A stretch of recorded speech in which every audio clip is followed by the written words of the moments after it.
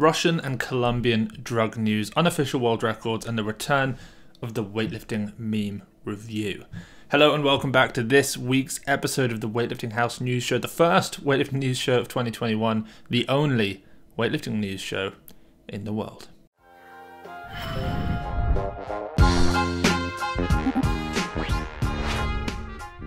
Okay, real quick bit of housekeeping. The first thing barbells and plates. To all pre orderers, as you've probably seen on the news, the docks, everything has been absolute carnage getting into both the USA and the UK. But the good news is Everything is now here. Everything has arrived in the UK and in the USA, so things will be with you soon. Uh, to those of you who need barbells or plates and don't yet have any, we obviously have this batch which has just arrived. We have more bars and plates arriving in February, and we have a few hundred of the new Weightlifting House barbell that no one has yet seen arriving in March. So we will be very well stocked uh, very soon. So if you need stuff, just hold on a little bit longer.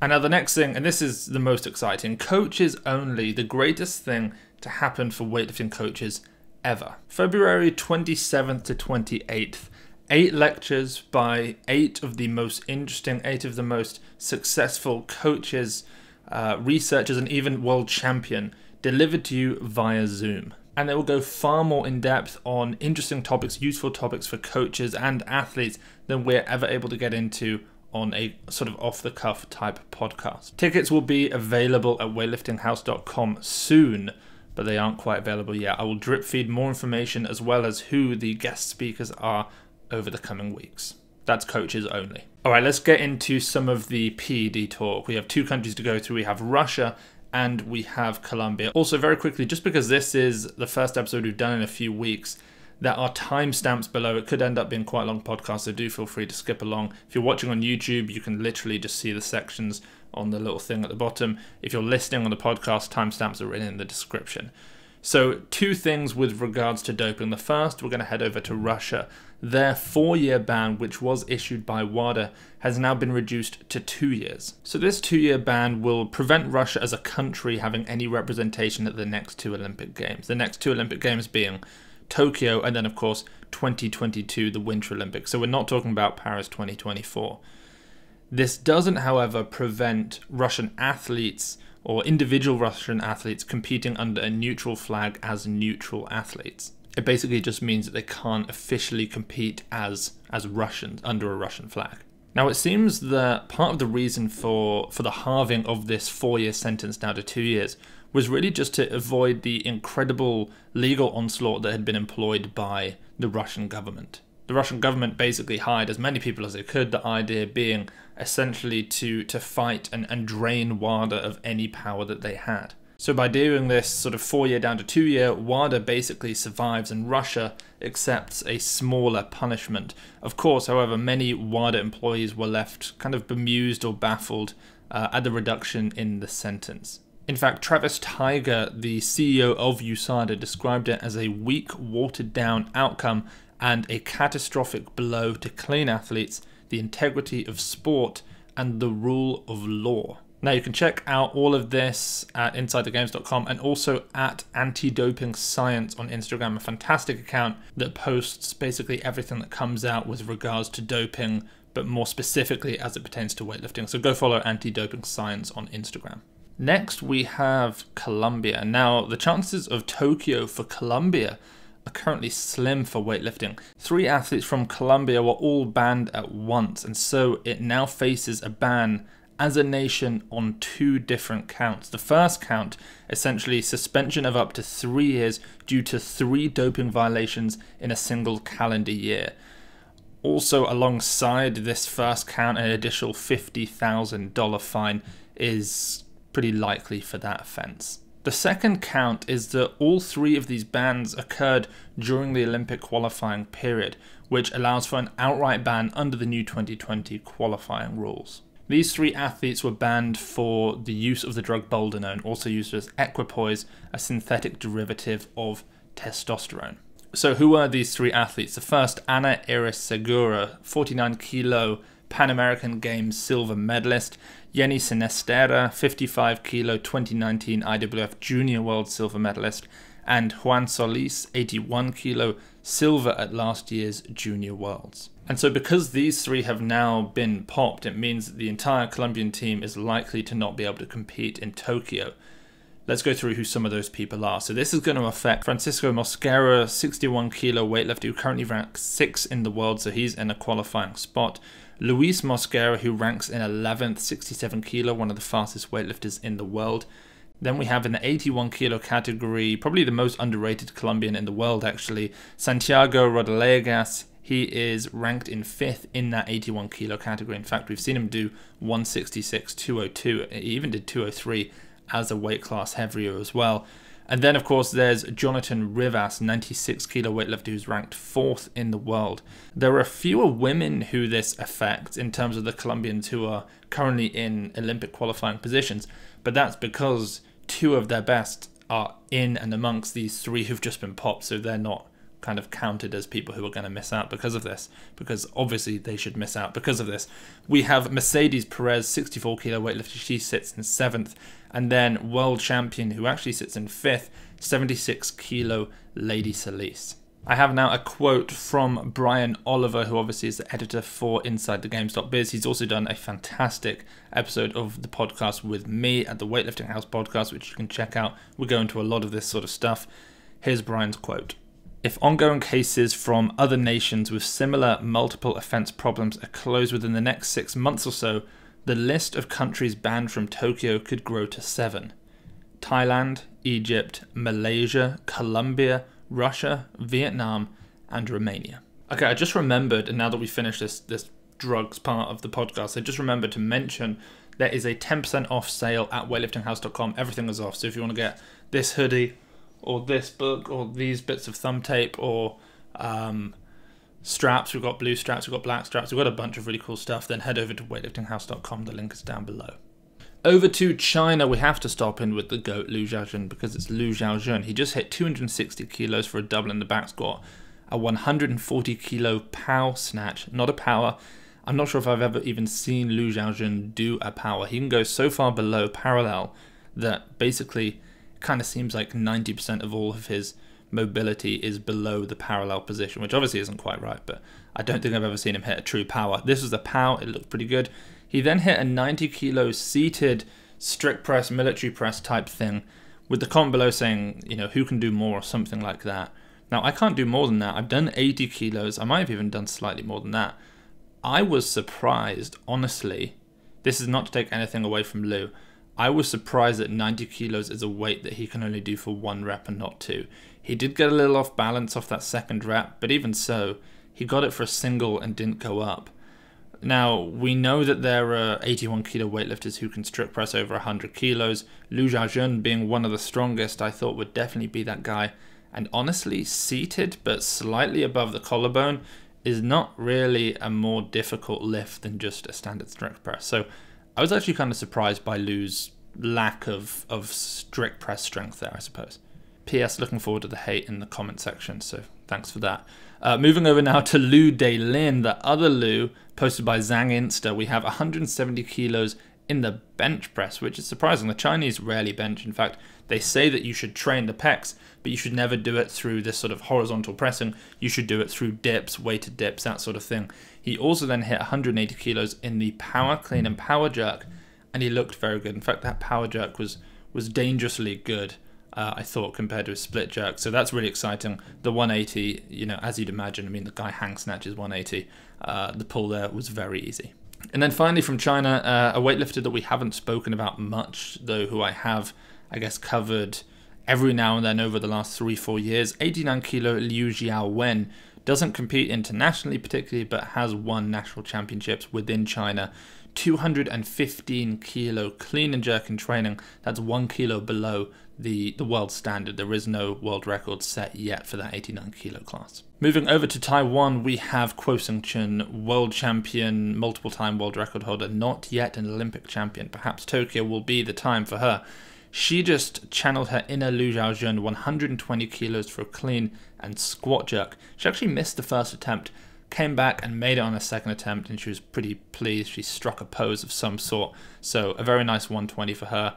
I think the most we've seen from Kuo Hsing Chun. I'm going to check it very quickly, but I believe it's 146. It's either 146 or 141. Or no, it's 142, I think, actually. Let's just check this very quickly.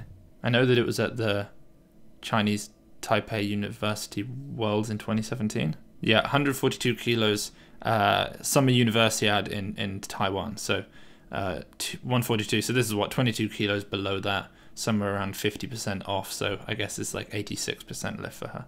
All right, back to the, the semi-script that I have in front. South Korea, Seo Hui-op, the 109 kilo weightlifter, just, I guess, kind of really introduced himself a little bit more into someone who's going to actually be um, a real contender at the Olympics.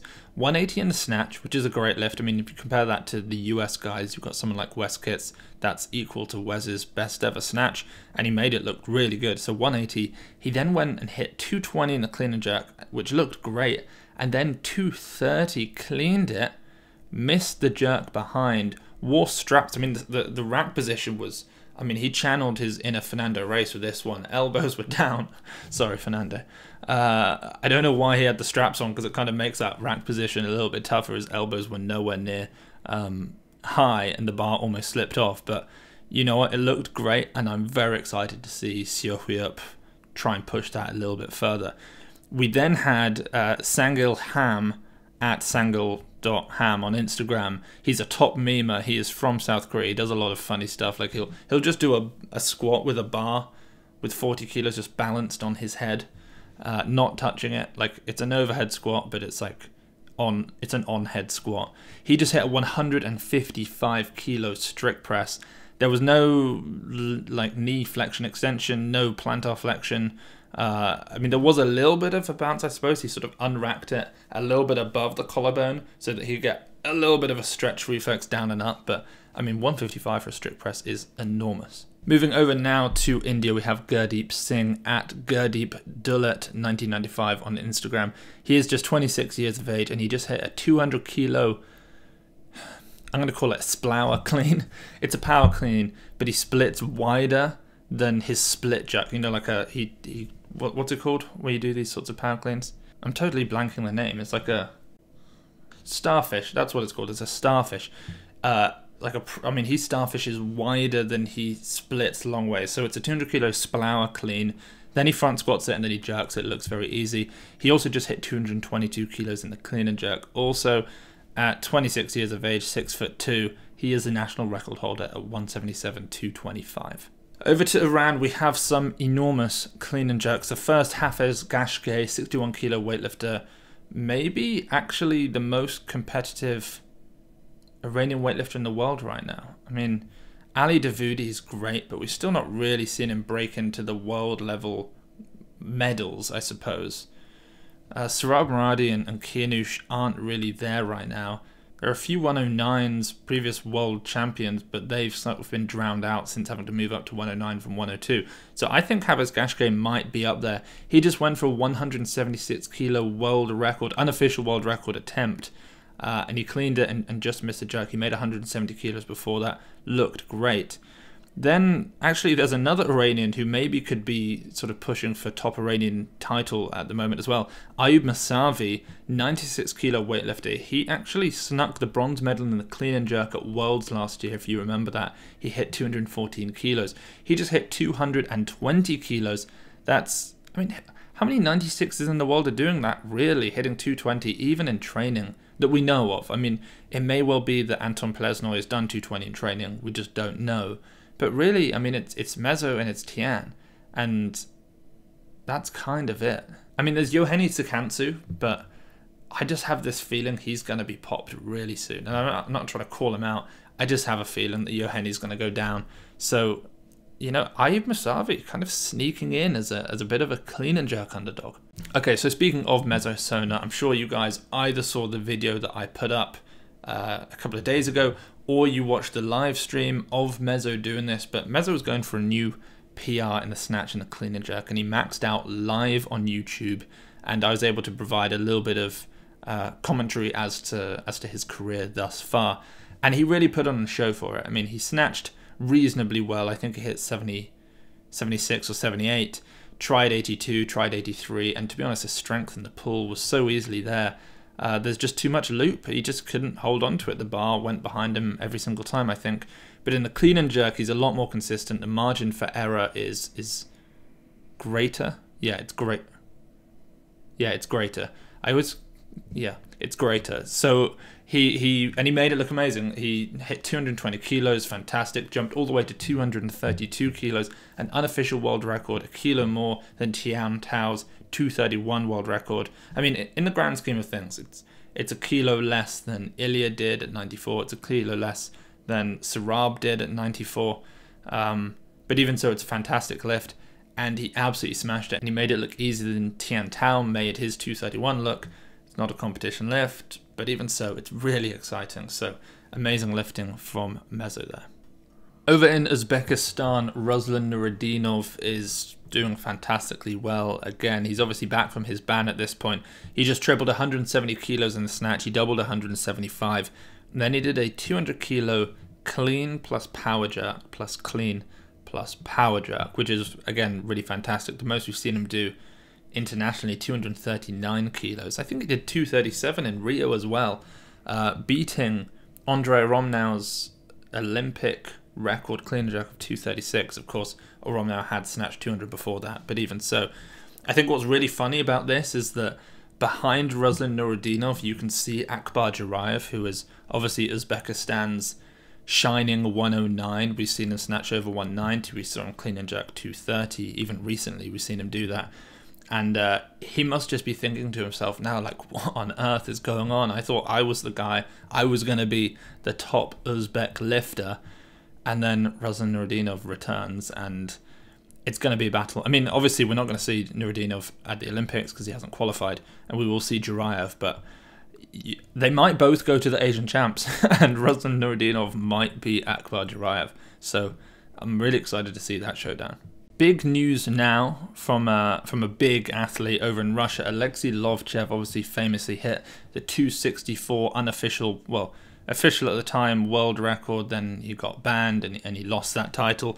Uh, but he just hit in training a no contact muscle snatch, two sets of four at 125 kilos. That really is Lasha levels of, of strength. And actually, he does it maybe with as much ease. We haven't seen Lasha do 125 for a set of four, but I'm sure he could. I've seen him do 120 for a triple, like right in front of me, and he, and he looked great. Uh, he then did 190 kilo. I don't know what these are called. It's like a panda pull plus rotation. Like he does the, the, the panda pull, but then he, he externally rotates, so it's almost like he's gone a little bit further. He just doesn't punch out and go under, but he pulls it very high. And then 165 kilos behind the neck for a few sets of four, 325 kilo back squat, moving very fast. Alexei Lovchev looks good right now. I don't think we're going to see him really return to, to levels to push Lasha, honestly. I don't think we'll ever maybe even see Lovchev do 200 250 ever again.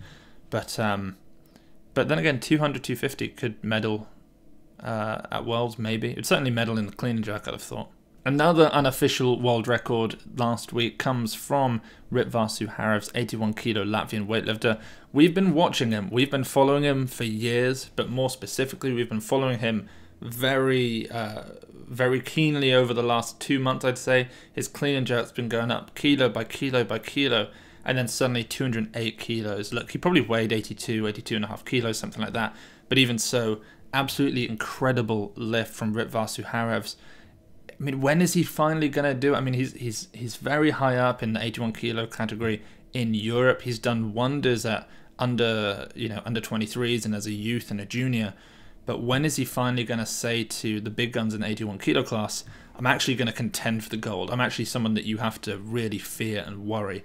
And this 208 kilo lift just maybe announce that. So it's going to be interesting to see how he does at the European Championships against a few of the other 81s in Europe and then at the Olympics in a few months' time. Over in Romania, Loredana Toma, 64 kilo 2000, well, 63 kilo 2017 world champion, 2019 kilo, 64 kilo bronze medalist, just hit 120 kilos for a power clean and jerk. She called it a pow which is a problem because she clearly now doesn't understand. We we sort of hoped that she was one of the early adopters of POW, a term separating power and full. Um, but fortunately, Nat owner of Hook Grip, came to the rescue and he commented on the post and he said, Look, we need to go over this again at the next POW, POW POW, Power and NA seminar. Now, I don't know what a POW POW is. I know what a POW is, I know a power, I know a NA. What's a pow pow? I'm not so sure, so I might have to attend said seminar also. To France, we now have retired 89 kilo slowest puller in the world, Redon Manushi, who has really shown that he needs to return honestly to the sport with some of these lifts. 200 kilos in the block clean, which is great. 170 block snatch, 180 block snatch. That was posted not by him, but by Power Camp Weightlifting, though he may have done it too. That 180 is one kilo over the world standard in the 89 kilo class. I really hope Redon Manushi decides to return to weightlifting. Great Britain's barbell queen 64 kilo Sarah Davies just hit 120 kilos for a power jerk plus split jerk. I don't think I've ever seen a power jerk anywhere close to this kind of weight, which is exciting. It looked comfortable. The split jerk after also looked great. She's what? I mean, she's cleaned 128 now. She's oh, she's jerked 128 too. So you know, 130 hopefully around the corner. Hopefully at Europeans or Worlds. And when I say Worlds, I mean the Olympics. To Canada now, Alex Bellemare, 81 kilo weightlifter, hit a 9 kilo PR in the block clean to round out 2020 with 196 kilos.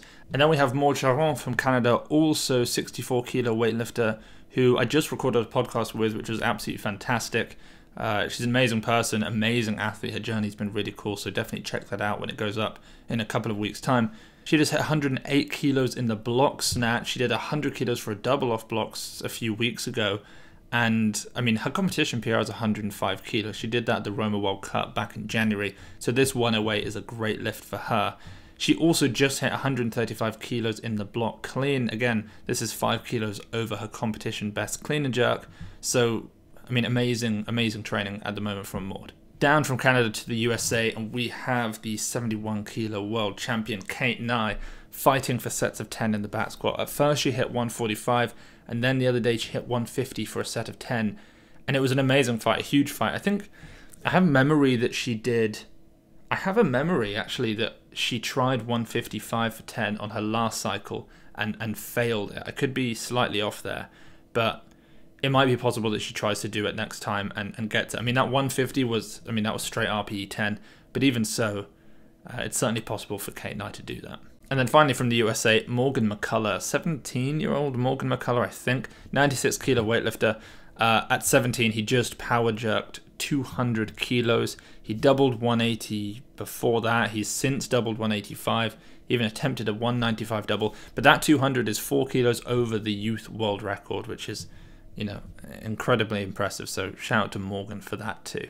And then finally, before we get on to meme review slash the people's lifts, as is tradition, we now have from Brazil Fernando Reis, who is going through a really a really strong looking uh, general prep phase, I suppose, of his training. Perhaps his last really big one before the Olympics. He just hit 180 kilos for a power clean and three push press. Then he did 190 kilos for a power clean and three push press, which is I mean, 190 for a triple in the push press is huge, never mind after after a power clean. He did 120 kilos for a set of five in the muscle snatch. I really think we need to have a muscle snatch off. We need to get into one room. We need Fernando Reis, we need Lasha Talakhadze, we need Alexei Lovchev. Maybe we should get someone like Mart Seim. I know he's not a puller, and I know he's not a snatcher, but I just have a feeling he's a good muscle snatcher. Um, I would love to also get Saeed Ali Husseini, pull him out of retirement, he'd probably still win. He's just the strongest man of all time. Uh, we need to get them into a room and have a 1RM muscle snatch off. I think that'd be pretty good. And that, everybody, is the end of the bulk of the Weightlifting House news show. I hope you all enjoyed it. Let's do a let's do a meme review.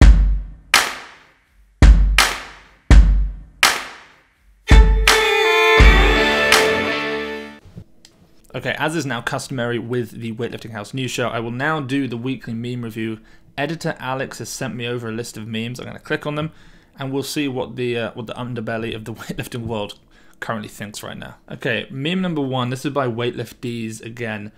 Weightlifters when the $600 stimulus check hits their account and the balance is now 627.18. Rent 08s. It's got to be the 08s. I mean, the 08s just hit kind of differently if that's still what weightlifters are thinking, then then order is still is still there in the weightlifting world. Yeah, I actually have a pair of 08s. I got them off Vintage Weightlifting, VTG underscore weightlifting underscore gear on Instagram. They actually just liked this post, so that's why I, I recognized who they were. Um, the 08s hit different. You got to get the 08s. Next, we have Training Make. Friendship ended with Meso, now Miso is my best friend. Yeah, so I get the name. So I was called Mezzo Mezzo, um, but it is actually Miso. And so I feel at this point now, if I just start calling him by Miso as it's supposed to be, I'm gonna get, I don't know, I just feel like it's gonna be weird, even though that's the right way to do it. So I know I need to make the change, but I haven't yet. So Mezzo, I apologize, uh, but from now on, I'm gonna do my best to say Miso. Meme number three from the gym rat. Spending money on new video games and consoles. Spending money for more food, gym gear, and supplements. You know, I don't I don't play video games. I've never had a games console, so I, I totally feel Drake on this one. I definitely like to spend the money that I do have on food. I like steak a lot. Gym gear supplements, virus, discount code weightlifting house. I shouldn't have said that. Such a bad plug. so shameless. Um, supplements, yeah, I totally feel that. Okay, next we have meme number four from Hard Aesthetics. Me. Okay, so it's a picture of Jay Cutler looking looking huge. Me. After the gym, I'll be so active and fresh. I will do also some work that I've left. Me after the gym. I, yeah, I'm. It's funny because like I've tried working out early in the day, and then working after that, because I always felt like it would pick me up and get me ready to work, but it actually never did. So, um, I always felt like training after work was the best thing for me. So me and Jay have more than one thing in common actually. Meme number five. This is also by Training Make, uh, Training underscore Make on Instagram. They got the game figured. All right, it's a video. I'm gonna play the video.